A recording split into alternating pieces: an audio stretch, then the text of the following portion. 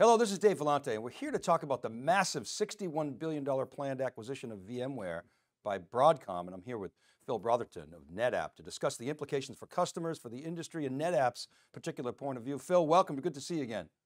It's great to see you, Dave. So this topic has, has garnered a lot of conversation. What's your take on this epic event? What does it mean for the industry generally and customers specifically? You know, I think time will tell a little bit, Dave. Um, we're in the early days. We've, you know, so heard the original announcements, um, and then it, it's evolved a little bit as we're going now. Um, I think overall, it'll be good for the ecosystem in the end. Um, there's a lot you can do when you start combining what VMware can do with compute and some of the hardware assets of Broadcom. There's a lot of security things that can be brought, for example, to the infrastructure that are very high end and cool, and then integrated, so it's it's easy to do. So I think there's a lot of upside for it. There's obviously a lot of concern about what it means for vendor consolidation and pricing and things like that. So time will tell. You know, when this announcement first came out, I was, I, I wrote a piece, you know, how Broadcom will tame the VMware beast, I called it. And, you know, looked at Broadcom's history and said they're going to cut, they're going to raise prices, et cetera, et cetera. But I've seen a different tone, certainly as Broadcom has got into the, the details. Uh, but, and I, I'm sure I and others maybe scared a lot of customers, but I think everybody's kind of calming down now. What are you hearing from customers about this acquisition? How are they thinking about it? You know, I, I think it varies. There's, I'd say generally when I, we have like half our installed base, Dave, runs VM ESX servers. So we, the bulk of our customers use VMware. And generally, they love VMware. And I'm talking mainly on-prem. We're just extending to the cloud now, uh, really at scale. And there's a lot of interest in continuing to do that. And that's really strong. The the piece that's that's careful is this vendor, the cost issues that have come up, the things that were in your piece actually.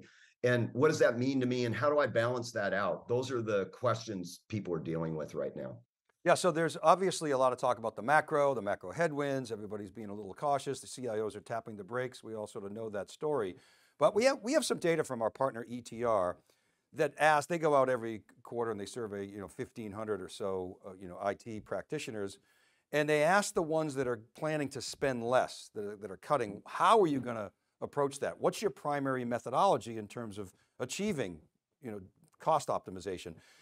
The number one by far uh, answer was to consolidate redundant vendors. It was like, it's now up to mm-hmm. about 40%. Uh, the second, yeah. distant second was, we're going to you know, optimize cloud costs. You know, still significant, but it was really that, that consolidating the redundant vendors. Do you see that? How does NetApp fit into that? Yeah, that is an interesting, that's a very interesting bit of research, Dave. That I think it's very right. One thing I would say is because I've been in I've been in the infrastructure business in Silicon Valley now for 30 years. So these ups and downs are that's a consistent thing in our industry. And I always think people should think of their infrastructure and cost management. That's always an issue with infrastructure is cost management. Um, what I've told customers forever is that when you look at cost management, our best customers at cost management are um, typically service providers. There's another aspect of cost management is you want to automate as much as possible. And automation goes along with vendor consolidation because how you automate different products, um, you don't want to have too many vendors in your in your layers. And, and what I mean by the layers of ecosystem, there's a storage layer, the network layer, the compute layer, like the security layer, database layer et cetera. When you think like that, everybody should pick their partners very carefully per layer. And I one last thought on this is it's not like people are dumb and not trying to do this. It, it, it's when you look at what happens in the real world, acquisitions happen, things change as you go. And those in these big customers, that's just normal that things change. But you always have to have this push towards um, towards consolidating and picking your vendors very carefully. Well, so just to follow up on that, I mean, you know, when you think about multi-cloud, and you mentioned, yep. you know, you got big customers, they do a lot of M&A. It's kind of been multi-cloud by accident. Oh, mm-hmm. we, got, we, got, all these other yep. tools uh, and, and storage platforms and, and whatever it is. So uh, uh, where does NetApp fit yeah.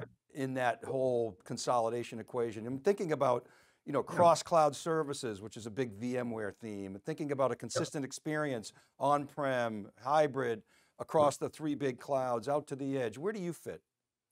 So our view has been, and it, it, it was this view, and then we extended to the cloud, is that data, the data layer. So in our software is called ONTAP.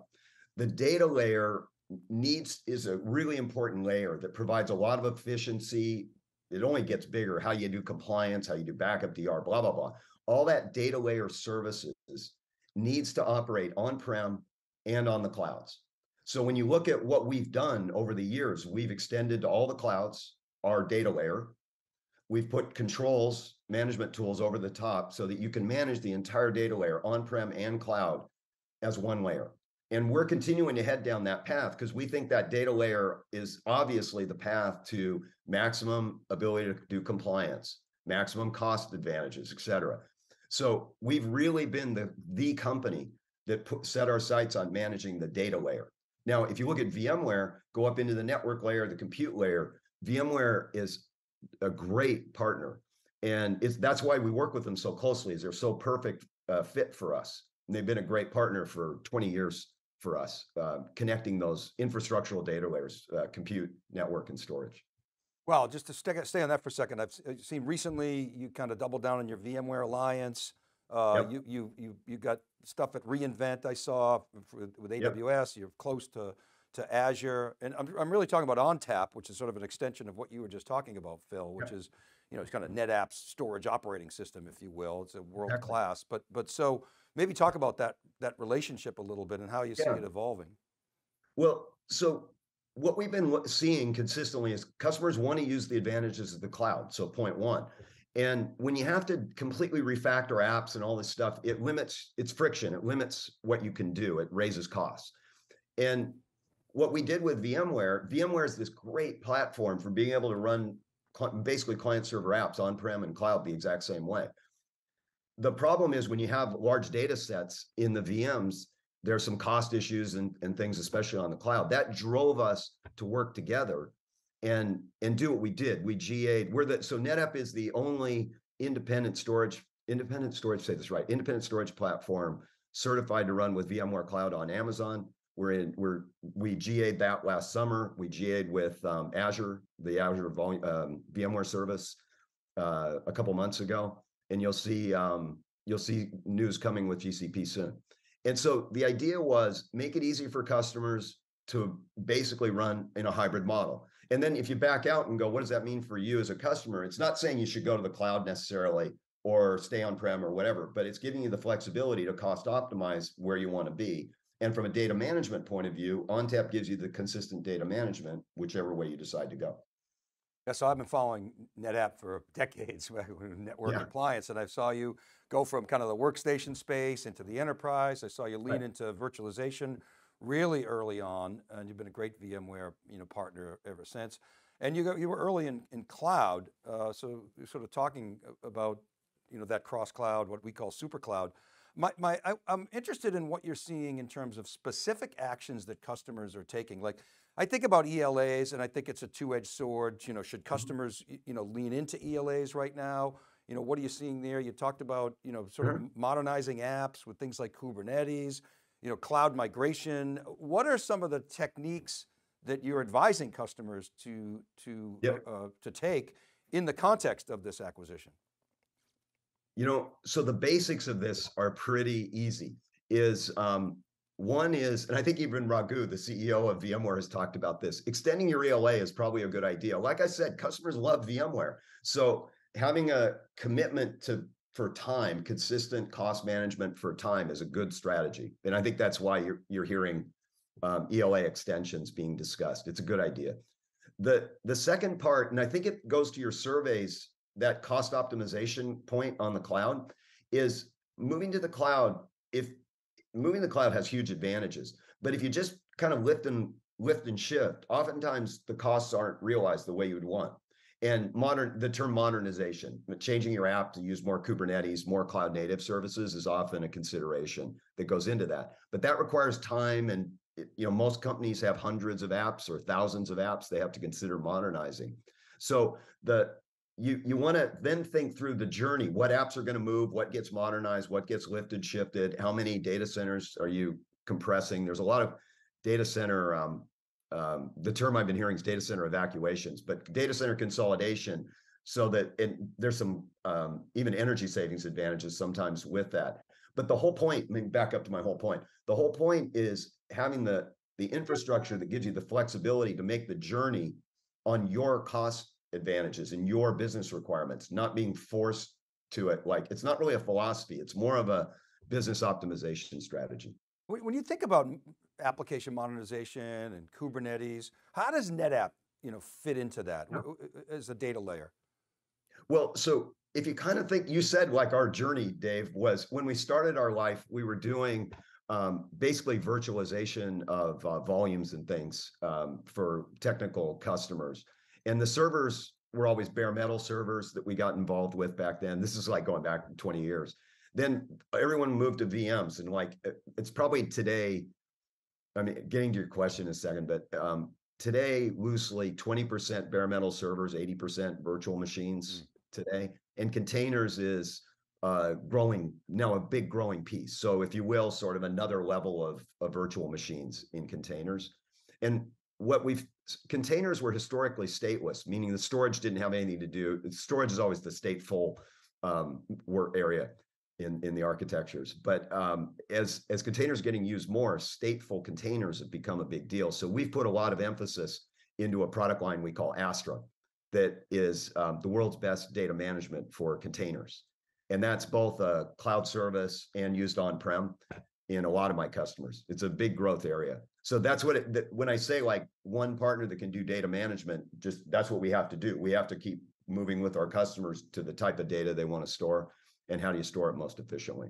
Hey, one last thought on this is where I really see this happening. There's a booming business right now in um, artificial intelligence, and we call it modern data analytics, but people combining big data lakes with AI. And um, that's where some of this, a lot of the container work comes in. We've extended objects. We have um, the thing we call file object duality to make it easy to bridge the old world of files to the new world of objects. Those all go hand in hand with app modernization. Yeah, it's a great thing about this industry. It never sits still. And, and, and you're right. It's, it's like, why I'm in it. Yeah. me so too. Much fun. Like, There's always something. And it's an abstraction layer. There's always going to be another abstraction layer. Serverless is another example. It's, you know, primarily yeah. stateless. That's probably going to, you know, change over time. All right. Last question. It, thinking about this, the uh, Broadcom acquisition of VMware um, it, in the macro climate, put a sort of bow on where NetApp fits into this equation.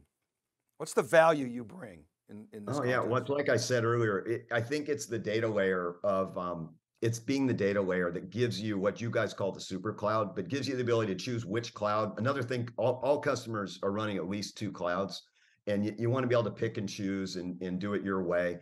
Um, so being the data layer, VMware is going to be in our infrastructures for at least as long as I'm in the computer business, Dave. I'm getting a little old, so maybe you know, but decades I think is an easy prediction. And um, and we plan to work with VMware very closely along with our customers as they extend from uh, on-prem to, to um, hybrid cloud operations. That's that's where I think this will go. Yeah, and I think uh, you're absolutely right. Look at the business case for migrating off of VMware. It just doesn't make sense. It works. Yeah. It's world class. It recover. It, they've done so much amazing. You know, uh, uh, uh, uh they used to be called the uh, Maritz called it the software mainframe right? And that's kind of what yeah. it is. I mean, it means it doesn't yeah. go down, right? And it supports and, virtually any application, you know, around the world. So. And I think getting back to your original point about your article from the very beginning is, um, I think I think Broadcom's really getting a, a, a sense of what they've bought, and it's going to be. I hopefully I think it'll be really a fun another fun era in our business. Well, and you can drive EBIT a couple of ways. You can cut, okay, fine, and I'm sure there's some redundancies uh, that they'll, that they'll find, but there's also you can drive top line revenue. Um, mm-hmm. and you know, we've seen how you know, EMC and then Dell used that, that growth from VMware to throw off free cash flow and it was just you know, mm-hmm. funded so much you know, innovation. So innovation is the, is the key. Hock Tan has talked about that a lot. Um, I think there's a perception that Broadcom you know, doesn't invest in R&D. That's not true.